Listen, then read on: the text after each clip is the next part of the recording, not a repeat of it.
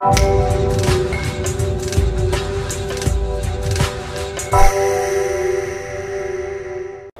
what is up guys, it is By District and today I'm bringing you a little tutorial involving Vegas Pro 11.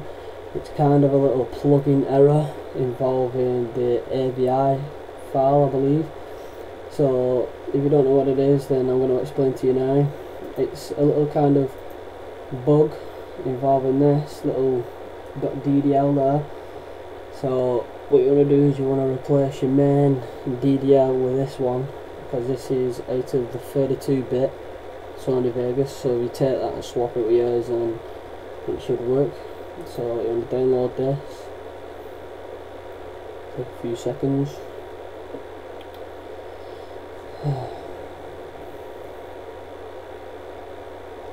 There we go keep it go to show folder so it should be in a minute.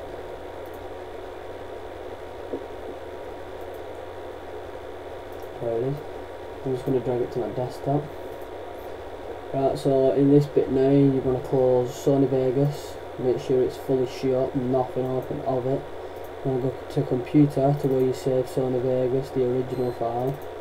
Program files Sony Vegas there you want to go to file IO plugins AVI plugin see I've already got it there. So I'm just going to delete that to show you now. So you want to rename your main AVI plugin what's already in there and just put backup on the end of it. And then you're going to cut this and just control V should go in there easy. And then that's pretty much it. So I'll just show you now. Open Sony Vegas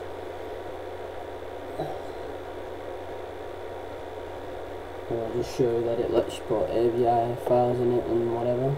I'll just get that now there. You go. So just drag this in now there shouldn't be any problem. There you go. That's a tutorial guys. It's been by district. If you want to follow me for more tutorials and edits and whatnot then make sure you subscribe. Thumb up the video and comment if you must so that's it guys. I'm out